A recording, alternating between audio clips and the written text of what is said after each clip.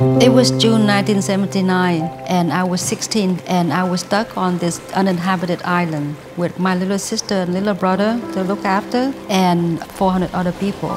We were in an absolute jungle. At first, we looked for some fruit, all we can find was dates and coconuts, but we couldn't climb the coconut trees, or we didn't even have knife to chop the coconuts.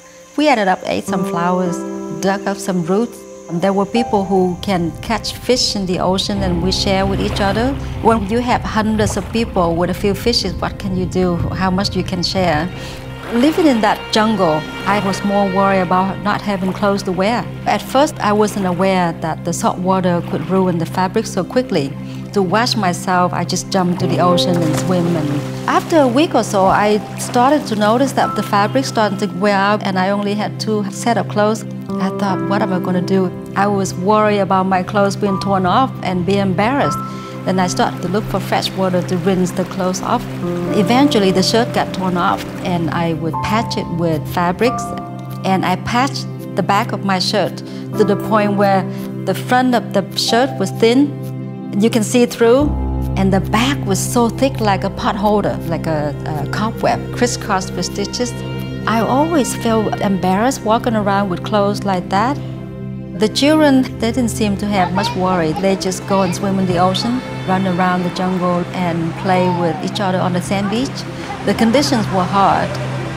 There were three of us on that island, volunteered to work with the sick people. I just went there and sat with especially children and tried to give them water.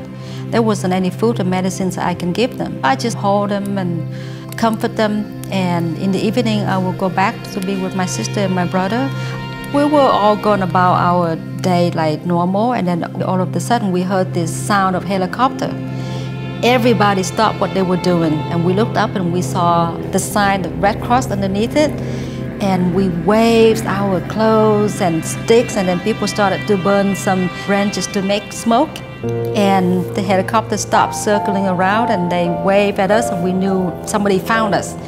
And it was just an amazing feeling. We had the first visit from the world vision. Doctors from singapore came on the island and they spent three days there working with us. So i followed them to help them distribute medicines everybody went on with the day-to-day life, waiting to be interviewed and get settled somewhere. You know, I never forget that one day when I received a parcel.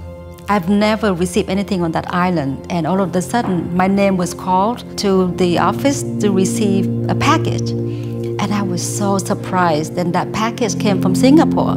I opened it up, and guess what I got in there? With some shirts. The doctor sent me clothes. I was overjoyed. It was the best gifts I've ever got.